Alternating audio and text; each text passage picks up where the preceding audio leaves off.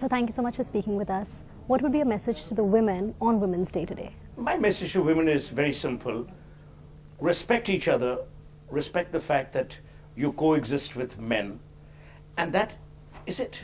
Because I believe that, uh, you know, to be patronizing, indulgent, benevolent towards women is the worst thing, and vice versa.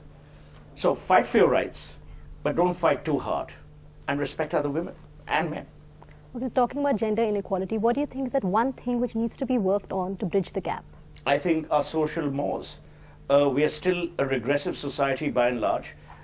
The uneducated, the so called illiterate, to my mind, have been consumed by certain peer pressures, which is why we have female infanticide. So what about these awards today, which are specifically for women? How do you think it can? What I do think, you feel about as? I said earlier in, in the panel, NDTV has always stolen a cerebral march over other channels. I'm delighted that L'Oreal Paris is also partnering you in this. We need more discourse, we need more debate, we need more discussion. Thank you so much, sir, for speaking with us. Thank you.